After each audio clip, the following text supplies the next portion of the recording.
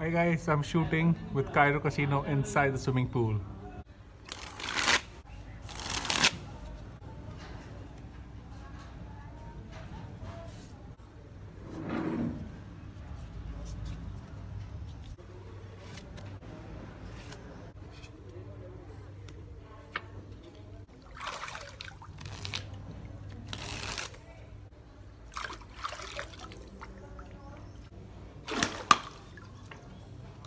Just put it on my lap like this.